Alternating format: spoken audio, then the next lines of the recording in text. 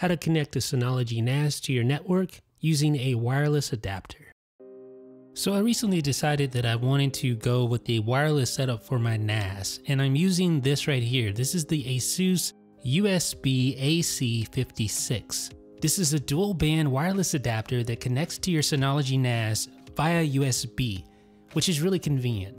So this allows you to place your NAS anywhere in the house of course, it does come with an antenna. You just screw the antenna on this end right here, just like that. And the antenna can pivot if necessary. It also comes with this right here, a cradle.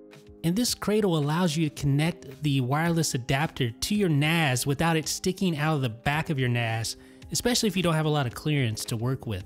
Because the wireless adapter is pretty long, especially with the antenna, so this little cradle, you just stick the wireless adapter in there and then you connect the USB port from the cradle into your Synology NAS. Super simple, super easy, and it allows you to place the NAS in a variety of different areas. Now, once you have the wireless adapter connected via USB, you just go into DSM, go into the wireless section of the control panel, and then basically you want to set up a new wireless network.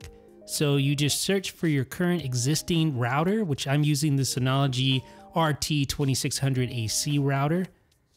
Uh, and then find my SSID and then just connect. Super simple. It couldn't be easier.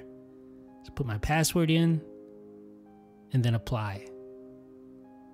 And now, in just a second, we are connected to our network wirelessly. So I can disconnect the Ethernet cable, and now I have my Synology NAS sitting on a shelf out of the way thanks to this wireless USB adapter.